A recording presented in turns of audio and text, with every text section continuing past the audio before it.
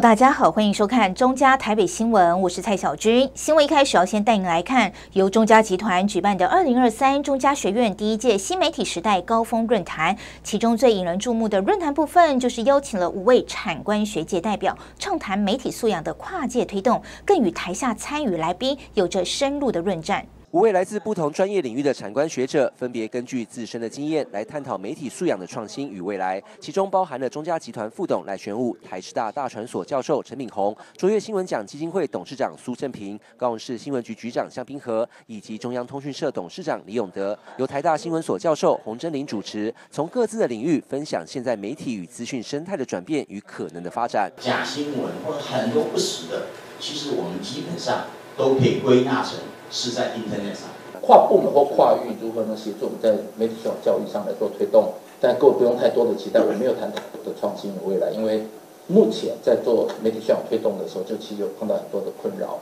记者可能很难做到绝对的客观啊，或是获取的是百分之百的事实啊，所以我们会用一个平衡的方式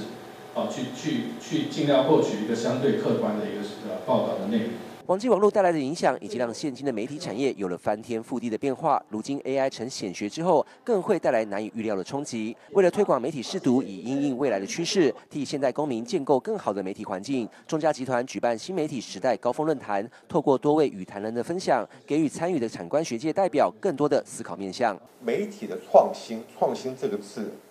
今年最重要的发生就是 AI 的演变。这是一定会发生的事情了，因为啊，因为 AI 对这个科技的创新，对这个啊方呃使用方式的突破，我们媒体的前途是非常不确定的。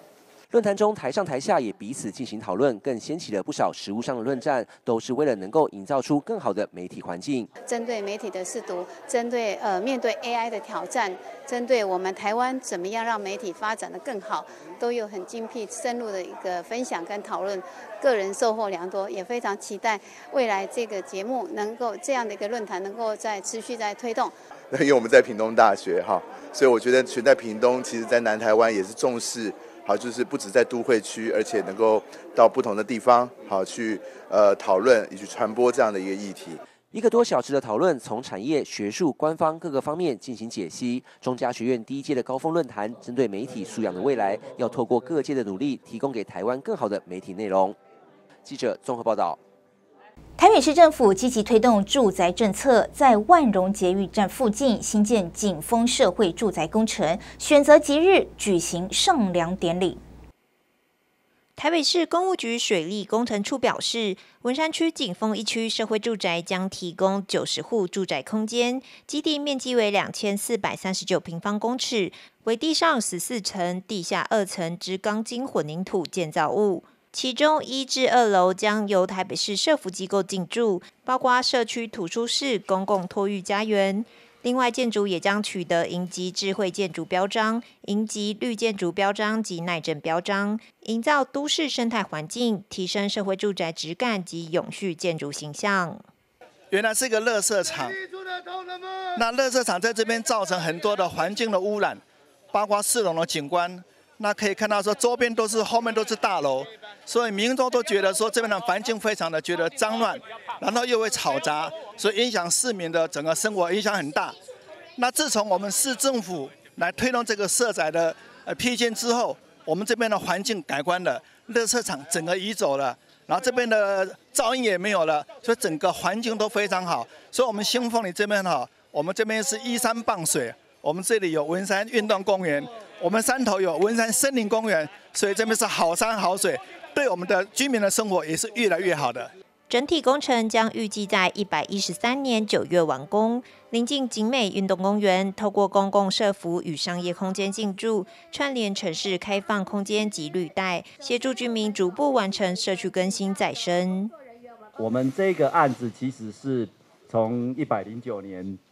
开工。那预计是在明年的年底能够完成这个工作哈。那虽然是呃工程范围不大了哈，大概八百平左右哈，但是麻雀虽小，那里面的功能还是很多。除了提供了九十户的设载的这个呃内容之外，哈，那这九十户里面包括有七十二户是一房型，那差不多还有两成的比例哈是呃包括六户的三房型跟呃十二户的二房型哈这样的比例关系。那另外就是在一二楼层哈有相关的我们社虎的日照还有脱音哈，那不管是日照或脱音。其实从这样来看，我们这个社宅等于是，呃，从摇篮到摇椅，哈，都有包括，哈。那我们的三楼到十四楼，哈，就是主要的我们社宅的这个相关的使用，哈。那呃，我们希望在文山区创造这边的这个区域啊，不是呃只有呃住宅，哈，它就包括。我们整个虽然八十八百平的这个范围，但是我们基地是有建蔽率的，所以我们会把开放空间让出来。那再加上周遭其实环境非常好，这里有呃景美的运动公园哈，那再加上临近新农新农的这个呃相相关的这个捷运站然后，所以其实在这边如果将来能够入住。对，呃，不管是在地的哈，或者是将来在这边落脚的这个呃居民哈，都是很幸福的。所以我们在设计上面还包括了呃，在这些相关的这个范围环境里面都能够开窗。那当然这个只是设计的细腻的考量。我们在整个这个呃设宅台北市所呃希望呃创造的是，包括能够优质永续，还有它的这个智慧管理。所以我们在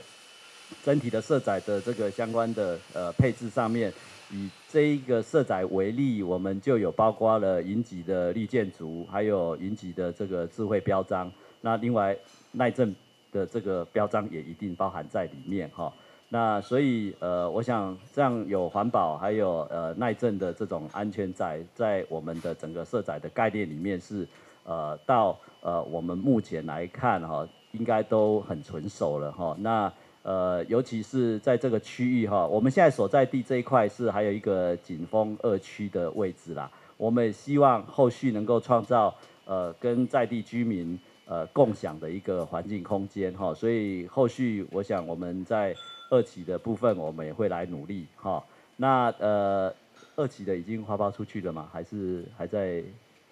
还在还在还在规划设计当中了哈？那当然，呃，也感谢登山营造的呃帮忙哈。这个案子在当时的这个花包工程来看，其实刚好是在呃营建物价哈，还有缺工缺料哈，中美贸易战开始以后的这个状况哦，所以呃工程可以说是关关难过关关过哈，呃历经了很多的这个挑战。那当然，陈老板这边为了确保他工程的这个安全哈。所以在基础的施工上面也非常的用心哈，他觉得不好的就把它打掉哈，这个是在当初一个在施工的历程中哈特别经历的，那所以也感谢呃登山营造这边就品质上面的要求，那我们也呃期待这个案子在后续已经上梁之后哈能够呃顺利的进展，因为它现在每一层楼的完成之后大概就是。到后面的精装修的这个部分了哈，所以我们呃也希望说他能够在明年哈如期如此如此的我们交托给这个原来呃都发局给我们的任务，我们就达成了哈。我们真的是拿到这个工程哈，是真的诶历经的本来是呃应该来讲是说要因为。一直设计上啊，或是地址上的东西哈，或是结构上的东西，以以前的联系壁的东西，一直在延宕，还还有在施工困那个又碰到一个暴雨的时候哦，让我们造成了很多很多的损损失。但是基本上我们是也是都跟结构技师，然后跟我们的土木技师这些都讨论，重新打过，然后打出过，然后再重新弄，就为了是。真的是要品质哈，我想这边东西，这是我最在乎的哈，然后也是我们登山营造所有员工最在乎的哈。那这边我们真的也谢谢我的同仁这样的努力，把我们的这个工工地哎总算上梁了哈。那当然这个也谢谢我们所有的长官好对我们的支持好，然后也祝福我们哎以后的装呃装修工程跟精装修都能够如期如职的完成。上梁典礼由公务局局长黄一平与设计监造及施工团队一同助导，期盼工程如期如职、平安顺利完成。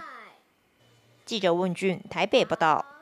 九二一大地震即将满二十四周年，内政部长林佑昌宣布，为期两个月的国家防灾日系列活动九月启动。另外，也推荐国人下载升级后的消防防灾一点通 App，即使在没有网络的环境下，民众也能查询避难的资讯。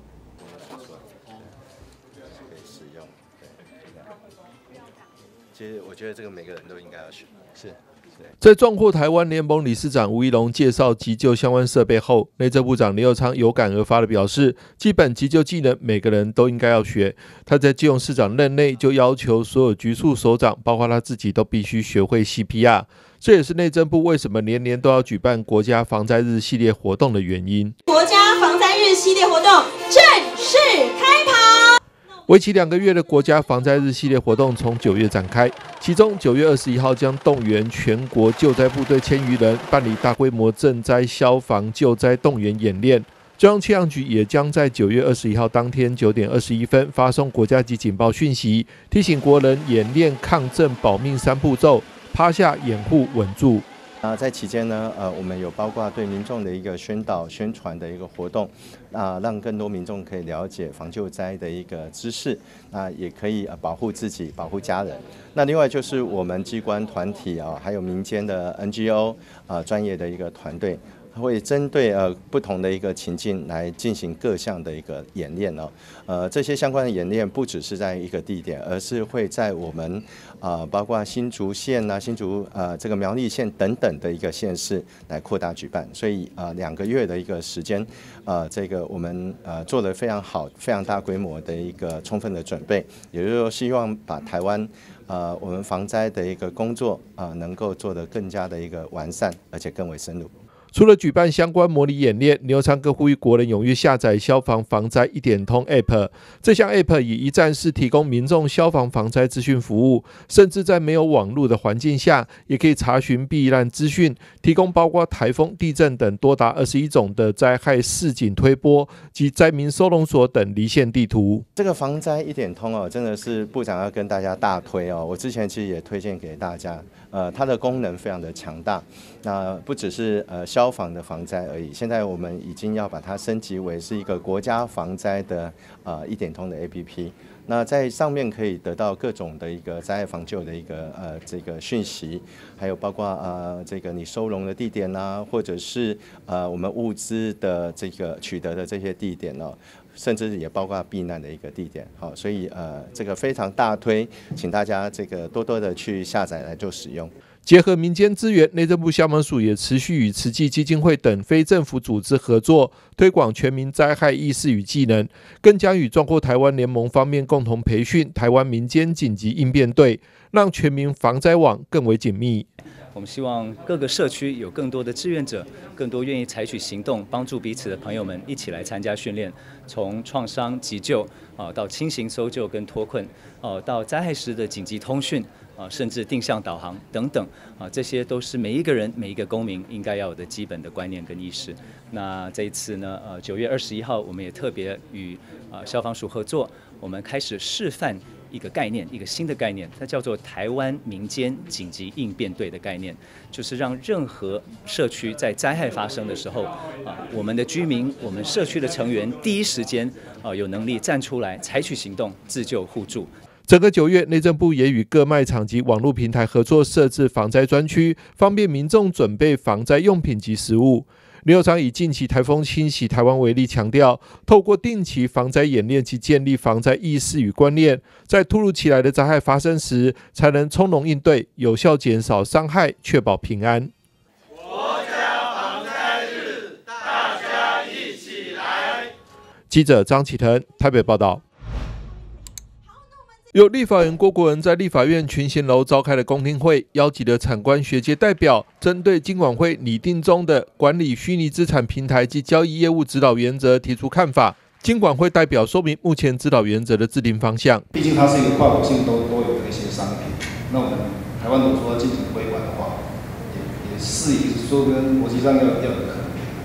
因为呃，要不然的话也是像有一些年轻朋友就会跟我讲说，其实他们在国内就是只是把台币换成虚币，那他就跑到国外去交易，因为他有虚币。所以，变说我们国内的这些规管，假如说得到这个投资人的信任，还不如国外的这些，就会产生这种情况。所以有时候我们在考虑说，到底我们要要应该要做到什么程度？业者代表则呼吁，应该制定专法，并且针对不同规模大小进行分级纳管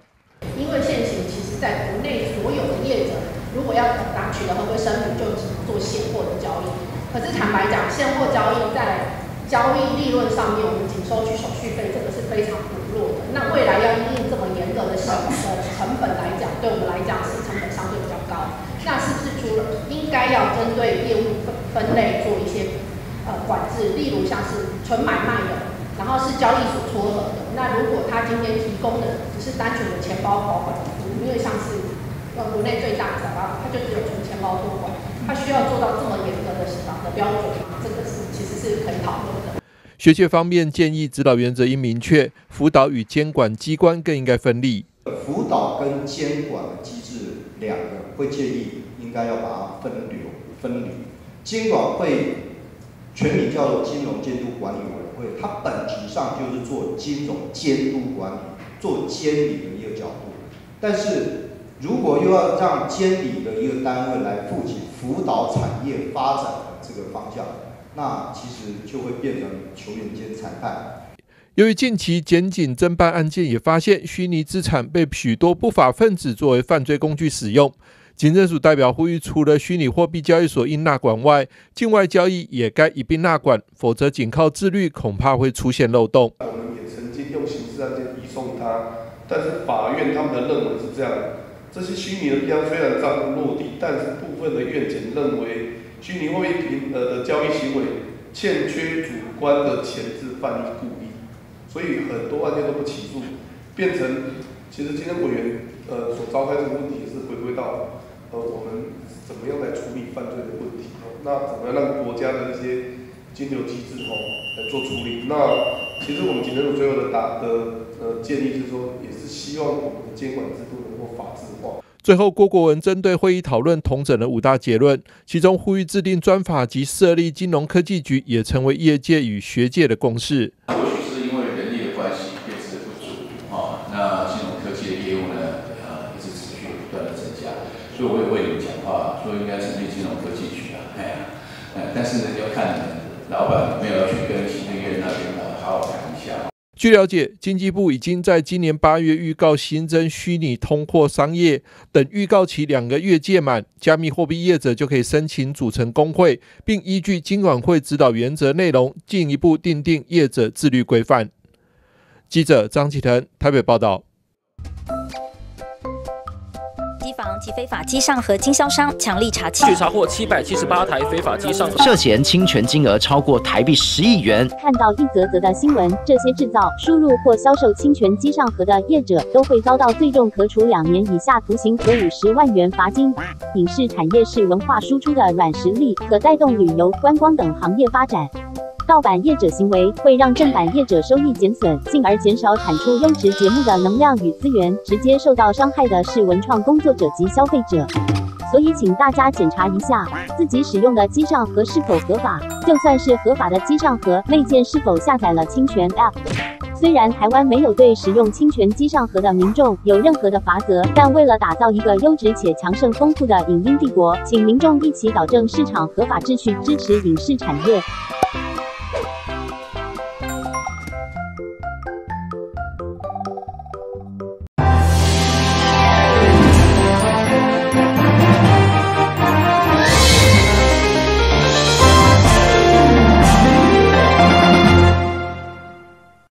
劳动部拍板，明年基本工资渴望调涨，军工就明年也将加薪百分之四。根据人力银行调查显示，有高达九成的上班族不满意目前的薪资待遇，创下了近五年的新高。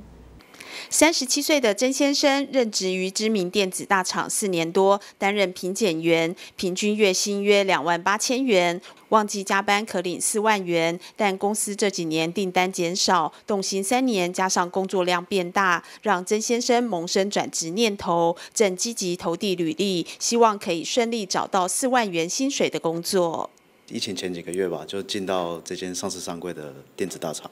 然后原本是也是一未来一片看好这样子，结果不知道为什么，就是刚好遇到了疫情之后呢，这三年下来。订单量大减，所以就是变成，诶加薪的机会没有了。然后即使说有加薪的话，就是幅度可能也没有很高。那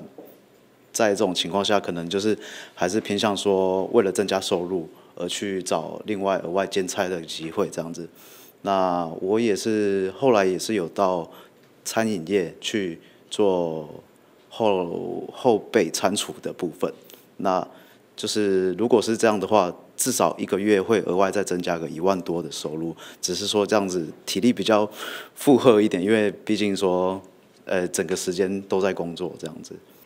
今年二十四岁的 Hank 毕业后就进入百货业当柜哥。当时老板说公司会有抽成，但工作两年下来，Hank 发现每个月能领到的薪水不到三万元，加上工时每天平均超过十一点五小时，让他选择离职，准备重新找工作。那时候店长是说一开始。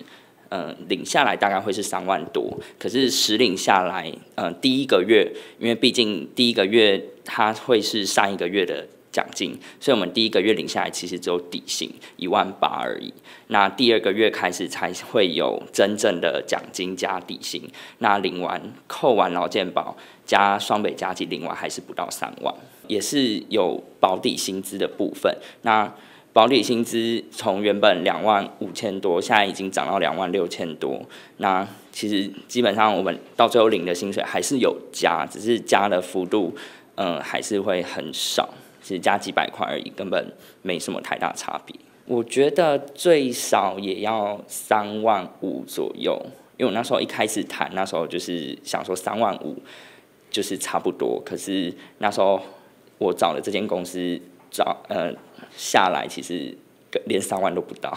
三十一岁的陈小姐，国际企业管理学系毕业，多益成绩八百一十分，在人力银行看到外商航空公司客户经理一职，凭借语言能力与过去累积的客户开发经验，加上空姐资历，让她顺利录取，基本年薪九十五万，将在九月底报道迎接新挑战。转职过程的话，基本上因为我先前是航空业嘛，那大家都知道疫情的关系，其实航空业过得并不是很好。那也在疫情之前，我刚好呢那时候。就决定离开航空业，那转职到呃朋友的这个公司。那过程当中，当然会持续觉得自己可以有在努力跟进步的空间，所以呃当然也沉淀自己以后，就是选择哎回归到自己的长处，利用自己的长处再转职跳槽，帮自己到现在的这个外商公司，那薪资水平会比较高，比较好。在谈新工作的时候，主要的加薪技巧会变成是说让让公司知道你可以为公司带来什么样的价值。啊，因为毕竟其实大家都知道，上班这件事情不是只有单纯只有一个。为一口饭吃嘛，当然公司也是要盈利。那你可以帮公司盈利，当然你就有机会帮自己再谈比较好的薪水条件。根据人力银行调查显示，有高达九成的上班族不满意目前薪资待遇，创下近两年新高，仅两成五有被加薪，平均增加两千一百一十七元。而上班族透过跳槽，最多平均可增加七千三百四十六元。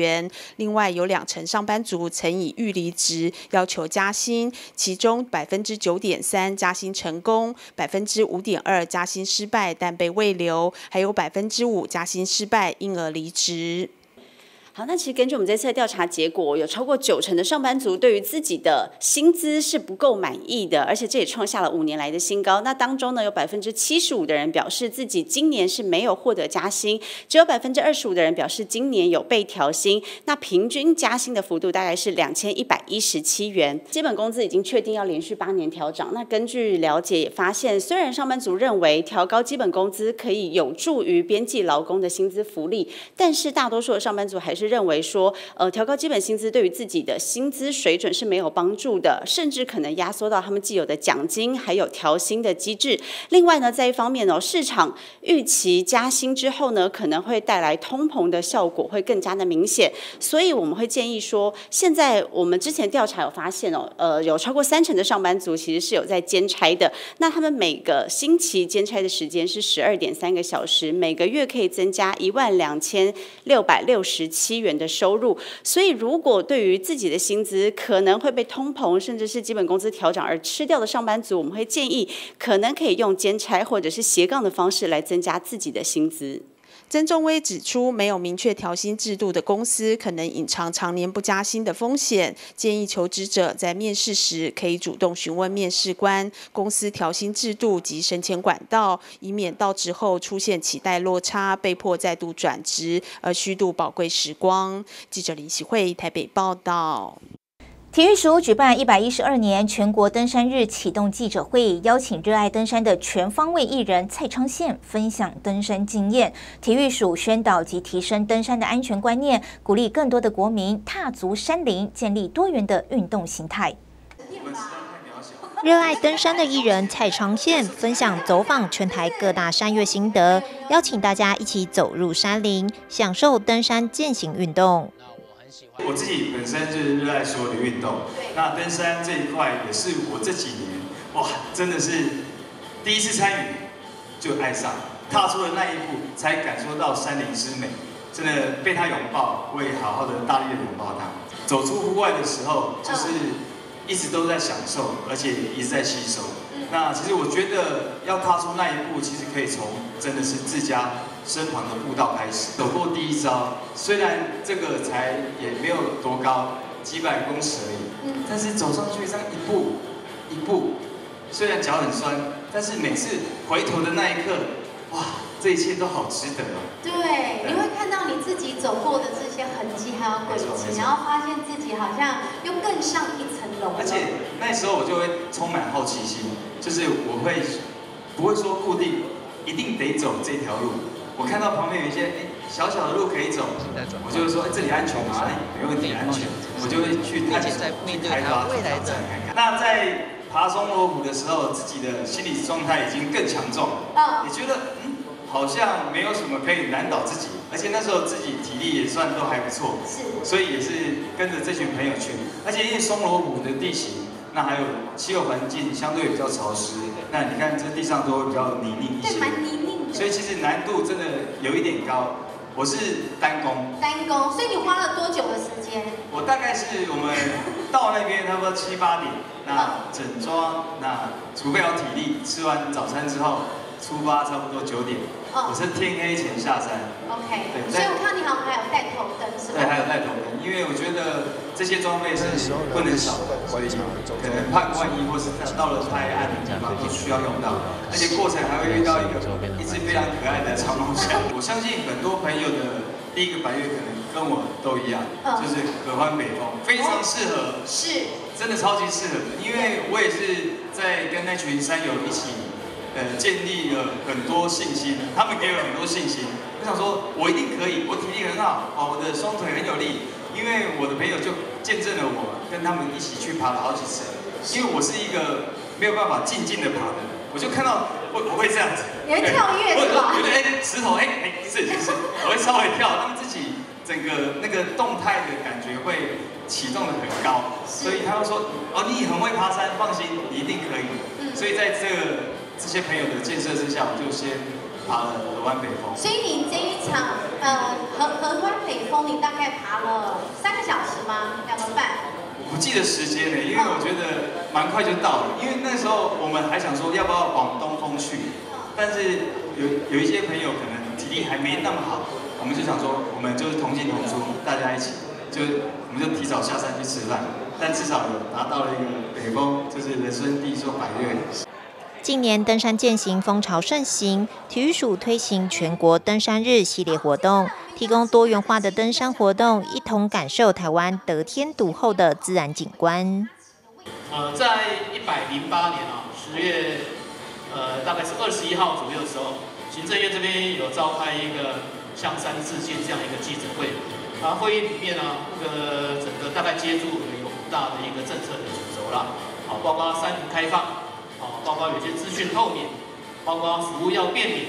包括我们登山的教育要普及，也包括我们有一些登山有一些责任的一些要致富的这样子的一个观念。好，特别借助这五大的一个政策主轴呢，呃，向全国的一个民众啊宣导，政府呃把山林开放，我们向山致敬，向山致敬的时候，我们要跟山进山，我们要致敬，然后呢，我们也要进山，哪一个进呢？要进去山里，那哪一个进呢？我们进入山里，我们要把山林保持干净。所以我们有三个进啊，三个进山哦。那个自从一百零八年这样子实施以来呢，那个已经快要四年了。然后体育署这边其实坦白讲，也是从一百零六年针对全国登山日的一个活动就已经开始在实施了。哦，然后我们整个全国登山的这样一个活动，其实是搭配刚刚讲的那个五大主轴里面的教育，哦，教育的这一个环节的一个环节。好，所以呃，很高兴今天在呃今天这个会场呢。看到我们所有的伙伴机关，欢迎参加，所有的协会跟企业呢，能够大力的呃支持跟赞助我们，哦，持续在办理相关的一个活动。哦，我们整个九月跟十月呢，有很多的一个系列的活动。然后看了一下，应该应该可能不止了。除了除了呃我们各个单位在办的两百五十场以上之外，包括我们那个呃伙伴机关这边也大概有办了一百场，很多。包括有一些线上的、线下的这些相关登山的一个活动，哦，跟一些安全讲座，哦，或者是登山论坛，啊，那个还有比较重头戏应该是我们呃北中南这三区，我们有一个主题日的一个登山活动，哦，在十月十四号跟十五号这两天，然后另外最后呢，我们在整个十月底会有一个登山社团的大会师，我，在十月二十八号二十九号这两天。系列活动从九月陆续开跑，透过全国性与地方登山社团的串联，举办超过两百五十场登山活动，规划近二十场登山安全讲座。民众只要在期间参与登山，就有机会获得超过四十家品牌的精选好礼。记者温俊台北报道。接下来要带你来看内湖百年土地公贵竹宫，从八年前开始将白米等普渡贡品捐赠给弱势团体，在台北市议员李彦秀的号召下，今年更获得新北市泸州凤安宫及多家企业与民间善心人士响应，连远到屏东雾台乡的贫困户都受惠。受赠单位将一包包白米以及一箱箱普渡贡品礼盒搬上车。这里是内湖百年土地公庙贵族宫。八年前，在当时担任立法委员的台北市议员李彦秀号召下，将信众普渡的贡品转赠给弱势团体，希望在诚心祭拜好兄弟、祈求平安的同时，也能帮助更多需要帮助的人。我们贵族宫在我们内湖呃立山街，就是我们这个旧地名叫山脚，在这个地方已经很多年了，上百年。那呃，我们其实每一年的中原普渡啊，物资都非常的多。那自从李彦秀呢，他当上立法委员之后呢，他就跟我们这个庙啊来联系，把这个多余的物资啊，可以送到真正需要帮助的人的手上。所以，我们今年是我们第八年这么做。普渡之后，其实我们有很多不同的物资在。那我们也发现说，其实很多人都可以把这样的爱心直接捐赠出去。我们。普渡本来就是希望大家平安，这个平安可以分享给更多的人，哦，呃，在社会上有更多的人需要，所以呃，我们就过去我们一开始只是把普渡品呃一起做一些捐赠仪式分享出去给荣福处的各单位，那我们后续陆陆续续呃这个新闻呃有更多人知道之后，有更多地方的好朋友加入，不同的宫庙加加入，那甚至其实贵族宫跟呃我们的丰安宫呃只是其中一个。现在其实陆陆续从八年前开始，陆续有很多的公庙都一起在普渡，把贡品当做后续的捐赠，呃，分享出去给有需要的人。那我觉得这就是台湾社会最重要的爱心。这项持续八年的公益活动获得外界好评。不但许多企业及民间善心人士响应，新北泸州丰安宫也加入，捐出两千斤白米及数十箱民生物资，共襄盛举。其实我们每年都有，也是这捐赠物品给各各地方的那个慈善机关呐。那因为这因缘际会，我一个很好的大哥啊大嫂在这边服务嘛，啊，所以想说他他邀请我说，他们一起来来这边参加。啊，所以我想说，哎，共襄盛举很好啊。啊，每年我们的物资也还还蛮多的。那很多善心人士都说要捐赠给这些慈善机构。那我想说，团结力量大，那我们就把它全部集合到这边来，一起一起来来做这个善事。中原普渡哈，这个相关的救助活动是我们呃台湾人的一个很好的一个信仰了哈。那呃，我觉得。呃，能够参与这样的活动，我这个我们很高兴。我想除了我们贵族公以外，我们其他的公外有这个，如果有这个机会，我们都会来参与。我们的理事啊，赵理事啊，他刚好有这个这个呃贵族宫的这个捐赠仪式啊，所以我们很乐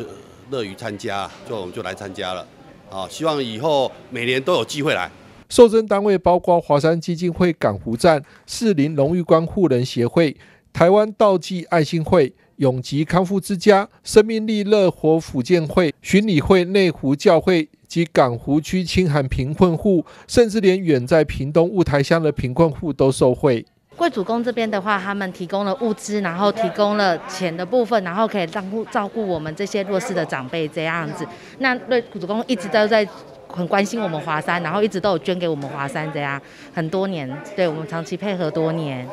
除了捐赠中原普渡贡品做善事，相传日据时期就建庙的贵族宫，每年在端午、中秋及元宵等几大节日，也会分送民众平安油饭等，秉持取之于社会、用之于社会的信念，希望让土地公的爱心庇佑社会的每个角落。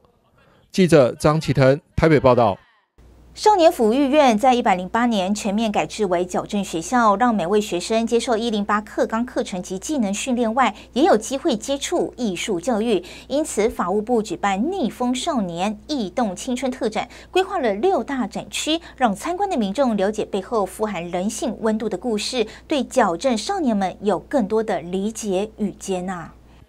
一幅幅黑白摄影捕捉逆风少年的身影，密密麻麻的文字写满对家人的思念。法务部逆风少年异动青春特展规划六大展区，包括青春显影、自画像、刺绣重生、书信互动区、接见式互动体验空间以及艺术创作等，呈现少年的生命故事，也让民众透过不同的途径认识矫正少年。这个六个展区的部分，那第一个就是大家可以看得到，呃，这边是摄影作品。那这个摄影作品比较特别的是，就是在六年前，我们在呃学校里面的替代一男叫卢德珍，那他很特别，就是跟这些呃少年们有非常好的互动。那他们就觉得说，哎，少年们这一段时间，如果依照法律上来说，他们这些记录是要被抹去的，但是他觉得。青春好像这样没有留下什么，很可惜，所以他们就跟他们沟通，然后所以呃跟他们做了一些拍摄，其中有一个是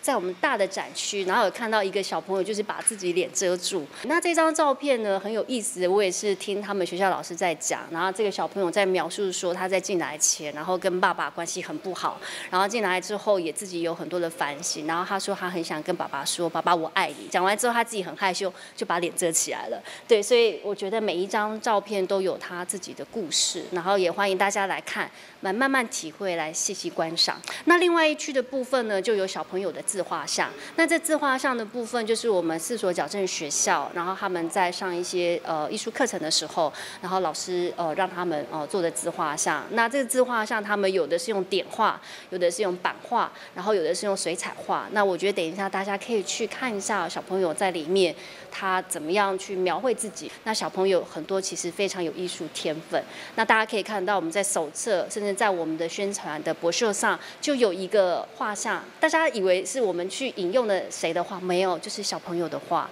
它当成我们这次展出的 logo，我觉得非常的吸睛。那也大家也可以来体会一下。那另外还有一块是刺绣区的部分。那为什么会有刺绣区呢？因为呃，现在时下年轻人很多人就是手上会有一些刺青。那但是如果说他们想要挥别过去，有一些小朋友他会想要把这些上面的刺青把它去除掉。但是去除刺青是一个非常疼痛的过程。那我不晓得大家知不知道怎么样去？因为如果要除去的话，就会好像。那个绣就像刺绣，那个一点一点会凸起来，那就有点像刺绣的感觉。那学校的老师就觉得说，哎，那我们就让小朋友在除去这些刺青的这些呃图像之前，让他把他那个图像。换成是呃刺绣的图样，把它留存一个纪念。然后这是我们另外一个展区。那还有一个展区是 Inner Voice。Inner Voice 是说，因为其实我们呃大部分的小朋友是没有经过那样子矫正学校的这样子的经历。那里面我们收录了非常多，他们从早上起来，然后他们参与一些学校的活动。比如说，他们呃有咖啡豆的学习啊，球类的学习，然后或者是开门关门声，或者是起床的一些音乐，那大家可以去呃试试看，听听看到底有什么不一样。那我们还有一区呢，是针对我们呃矫正学校改制前后的不同变化，总共有四个阶段，然后我们有一个大世纪的图，呃是在墙上，大家可以去观览。然后最后一区是学艺烦不烦？那那个部分就可以看到，也有陶艺的作品，然后也有用乒乓球拍做的艺术品，那非常的多元。副司长古慧珍表示，少年福育院在一百零八年改制为矫正学校，让每位学生接受一零八课纲课程及技能训练外，也有机会接触艺术教育。展览中可以看见青少年如何透过艺术探索自我、学习沟通、加强自我认同与重塑自信。法务部这几年来在司法改革有很多的面向，我们做了很多的改善。那其中有一块的部分呢，实际上我们是针对这个少年福育院改制成矫正学校的部分，我们做了非常多的努力。那尤其在呃一百一十一年一百一十年八月份的时候，我们的学校都已经全部呃变成矫正学校。那现在有敦品、城镇、励志跟明阳四所矫正学校。那其实，在改制之后，呃，学校有非常多的改变，包括它跟一百零八年的课纲结合，那也增加了非常多元以及不同的课程。那其中比较呃明显的部分是，呃，他们结合了艺术教育的课程。那为什么想要举办这样一个策展？就回想到去年，呃，十二月的时候，励志中学举办了一个爱的团圆饭。在爱的团圆饭里面，我们看到小朋友的改变，也看到励志口琴队这些小朋友们，呃，他们在呃学呃在学校里面的一些变化，我们就觉得说，哎，其实我们可以让更多人看见，呃，我们矫正学校的转变，以及这些少年们在里面的努力。我们这个策展就是希望可以走入社区，呃，让更多人可以知道，哎，我们矫正学校跟以前不一样了。这些少年人也不是大家想的都这么坏。那也许他们在成长的过过程当中，呃，可能迷失了自己，但是我相信你跟我都可以成为他生命中的贵人，可以帮他撑一把伞，我们可以一起走过。我会觉得说，其实小朋友在整个艺术教育过程当中，其实就是自我的一种呃心灵的陶冶，那甚至是一个自我的醒思。其实人有时候，其实他当他在沉淀下来之后，他其实会慢慢的回想自己到底做。对还是做错？其实爸爸妈妈这么爱我们，也许他们可能不是很懂得表达，但是透过艺术，不论是在画画或者是创作，甚至他们有云门舞集这些舞蹈的课程里面，其实都是一种对于呃自我一种另外一种探索，以及另外一种沉淀。逆风少年异动青春特展即日起在中国文化大学推广教育部大厦一廊展出到九月十四号，邀请社会大众透过不同艺术形式，看见少年们背后富含人性温度的故事，感受生命的美丽与深邃。记者林希慧台北报道。机房及非法机上和经销商强力查缉，查获七百七十八台非法机上盒，涉嫌侵权金额超过台币十亿元。看到一则则的新闻，这些制造、输入或销售侵权机上盒的业者，都会遭到最重可处两年以下徒刑和五十万元罚金。影视产业是文化输出的软实力，可带动旅游、观光等行业发展。盗版业者行为会让正版业者收益减损，进而减少产出优质节目的能量与资源，直接受到伤害的是文创工作者及消费者。所以，请大家检查一下自己使用的机上盒是否合法，就算是合法的机上盒，内件是否下载了侵权 App。虽然台湾没有对使用侵权机上盒的民众有任何的罚则，但为了打造一个优质且强盛丰富的影音帝国，请民众一起导正市场合法秩序，支持影视产业。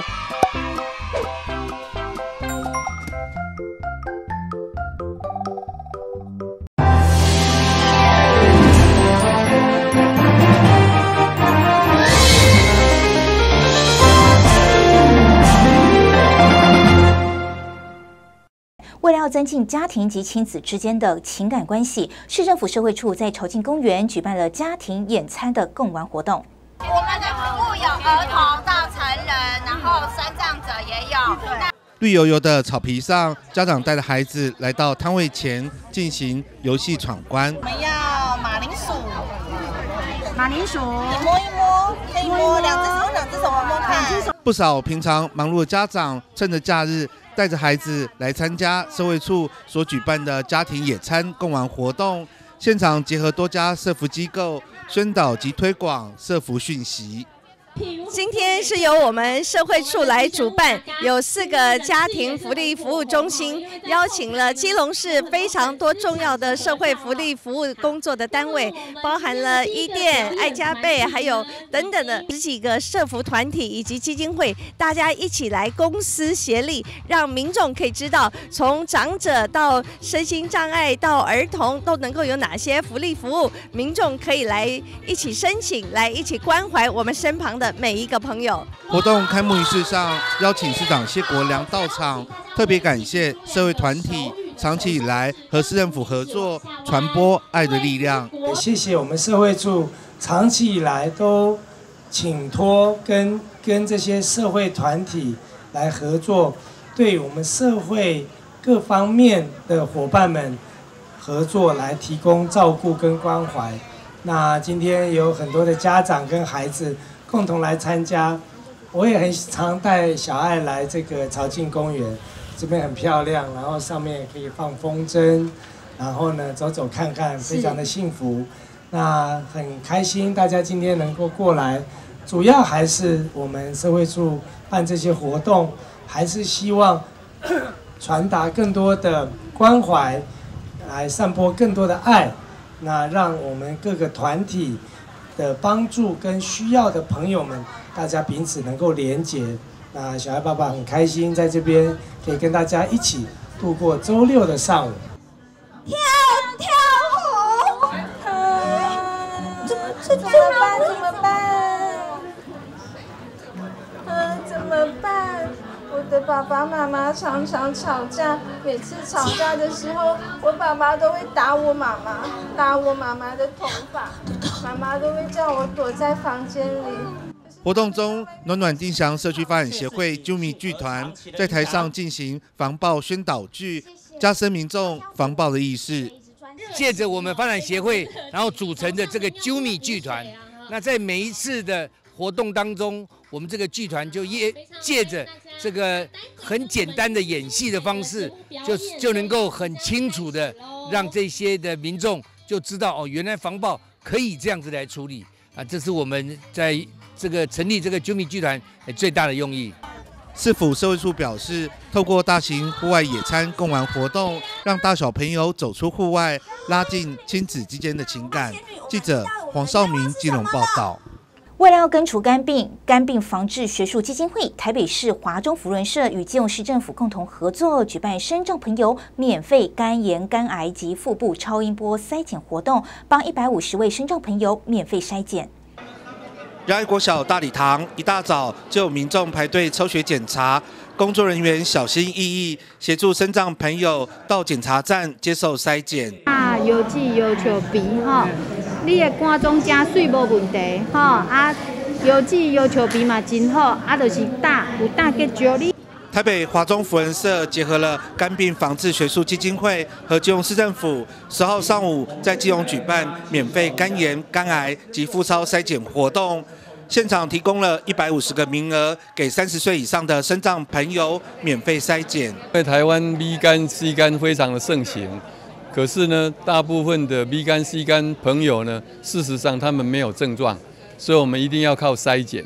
那么这个筛检呢，包括抽血、检查肝功能、B 肝、C 肝的病毒标记，还有胎儿蛋白。另外还要做超音波检查，这一个缺一不可。那么最重要的是，我们不是久久才做一次，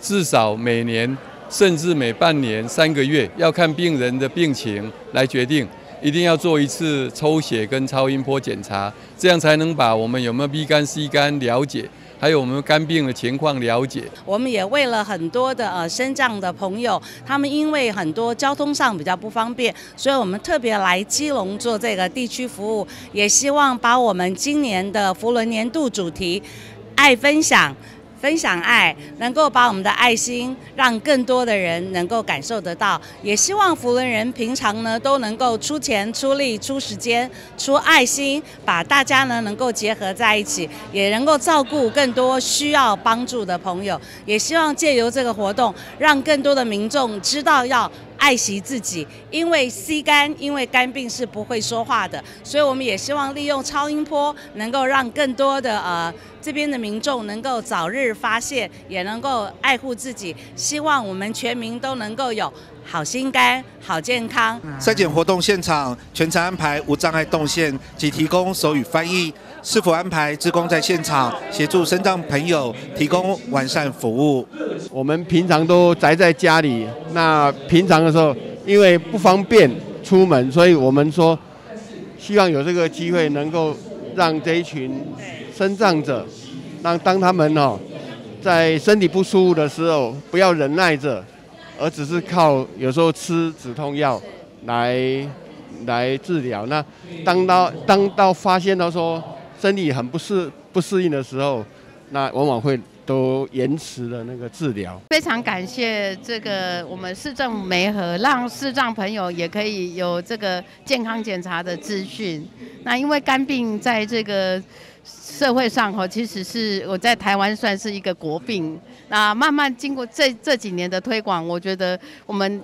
人人民都会预防，然后也会得到及时的治疗。副市长邱佩玲、社会处长杨玉兴和卫生局长张正贤一同出席筛检活动，特别感谢民间单位和市府携手照顾身障朋友，打造有爱的城市。爱心是大家一起累积出来的，能够重视北台湾所有身障人的福利，是也是我们要努力做到的。民间跟政府一起合作。今天这个场域让我们可以提早的来了解自己的身体状况，所以最重要、最有价值的事情不是在后面做医疗啊，更有价值是做预防。所以你要知道你自己的身体健康是什么情形，一定要健康检查。那今天很重要的是超音波，好，这个是非常难得的机会，那无痛无辐射，让大家可以好好在这么好的环境一起来了解自己的健康，为自己的健康做出努力。一起来帮我们的身障同胞们做健康检查。那这有什么样的特色呢？因为我们现场会有这个无障碍的一个空间，让我们身障朋友比较容易的进入这一个检查的空间。再者呢，我们的盲包呢也会有人来协助搀扶。那听障同胞呢，他们更有手语老师来协助他们跟医护人员来做沟通。我想这个是完全符合。们身障同胞以及弱势族群他们的一个需求。肝基金会推动全民复超运动，首度巡回基隆，提供身障朋友服务，结合市府力量，一起为身障朋友永保健康。今年超了没？好心、好肝、好健康，在。记者黄少明基隆报道。九月九号是一年一度的国民体育日，国立海洋科技博物馆举办健走活动，吸引了近千位民众参与。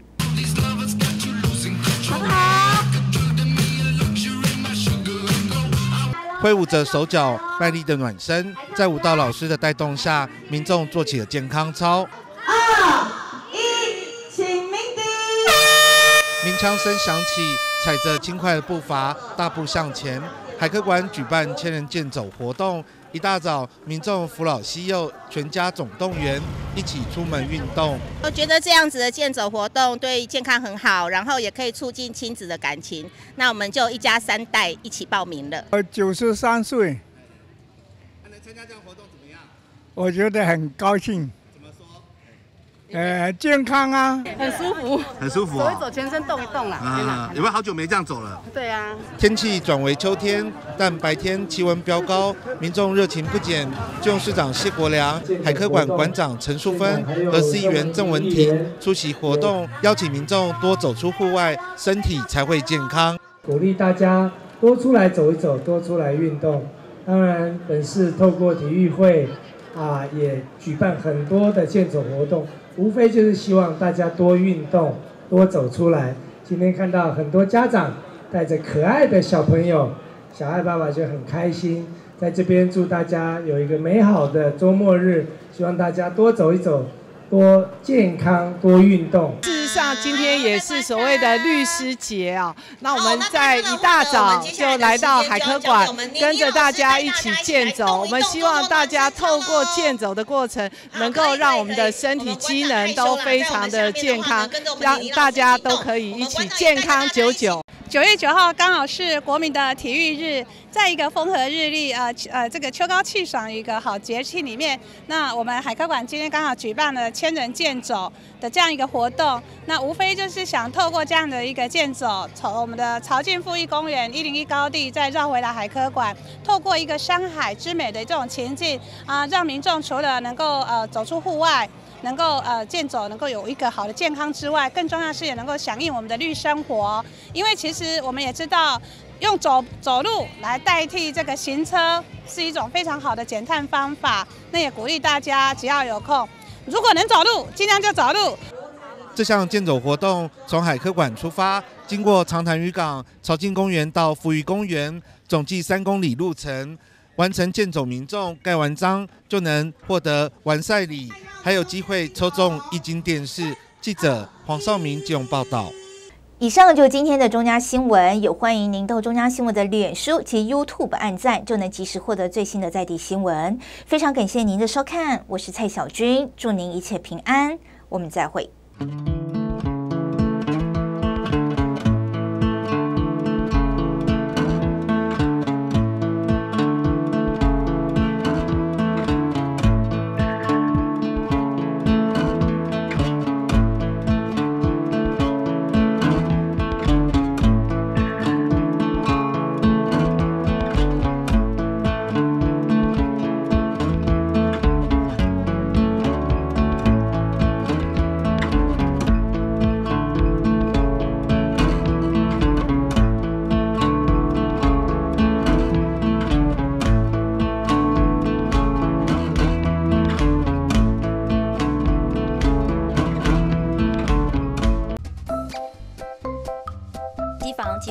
上和经销商强力查据查获七百七十八台非法机上涉嫌侵权金额超过台币十亿元。看到一则则的新闻，这些制造、输入或销售侵权机上盒的业者都会遭到最重可处两年以下徒刑和五十万元罚金。影视产业是文化输出的软实力，可带动旅游、观光等行业发展。